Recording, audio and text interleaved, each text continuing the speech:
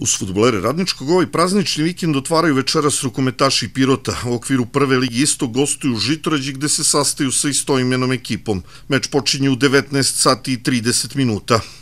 U 21. kolu Super B ligi ženski rukometni klub Pirot gostuje sutra u Beogradu, ekipi Radničkog koja je nekada bila i prvak Evrope. Utakmica se igra od 17 sati. Susreti posljednje kola Prve lige Srbije donose rasplet o tome ko se seli u niži rang takmičenja. Još tri ekipe strepe za opstanak, Pirotsko jedinstvo, Lavica iz Leskovca i napredak iz Kruševca. Ženski futbolski klub Jedinstvo u utakmici odluke dočekuje sutra ekipu Kolubara iz Lazarevca. Ako pobede ili osvoje jedan bod, naše devojke sigurno ostaju u ligi. U suprotnom njihova sudbina zavisiće će od utakmica koje se igraju u Leskovcu i Kruševcu.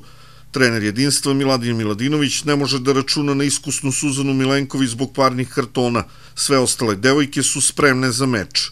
Utakmica se igra na gradskom stadionu od 17 sati.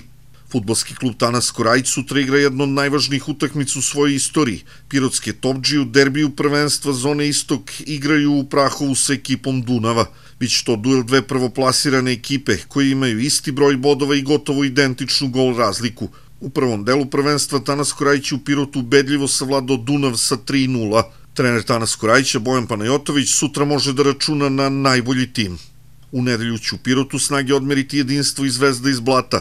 Susret na pomoćnom terenu gradskog stadiona počinju 11 sati. Za kraj futsal – U 20. kolu treće ligi Istog sutra se u Pirotu igra gradski derbi Pirgos klub malog futbola Pirot. Kao i uvek do sada očekujemo veliku borbu i izjednačenu utakmicu. Susret u Hali Kej počinje u 20 sati i bit će prava poslastica za sve ljubitelje futsala.